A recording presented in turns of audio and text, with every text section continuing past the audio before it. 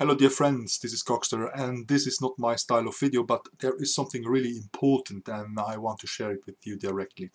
Um, so many people asked why there are no more so many debates, uh, Christian uh, atheist debates on YouTube.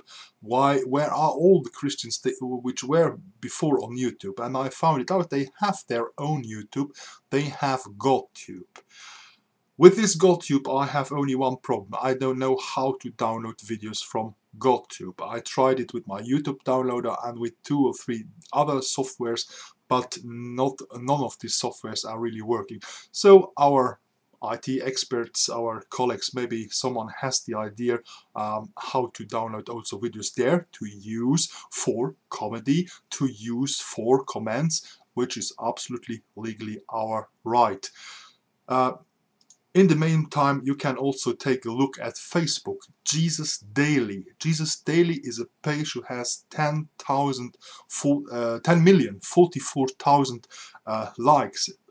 And I looked at this three months before it has only 5 million. So it grows now in three months, it grows over 5 million to 10 million today that's not the number here which is important but when we look now at the page uh, All Facebook. All Facebook is a statistic page uh, where you can check where uh, what are the best channels or what are the best sites and how they are rated and so on. You can find this one. Jesus Daily has had in this time 8,500,000 fans, that is the last stand of this page, but has 4,305,000 interactions. Sorry, Justin Bieber, even with you 36,000, uh, 36 million subscribers, you uh, never, never reach Jesus, Jesus Daily because Jesus Daily has five, six times more interaction than Justin Bieber's page.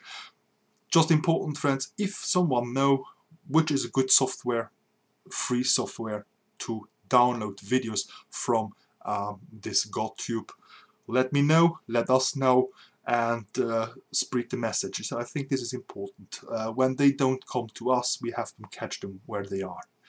See you. Bye. Ciao.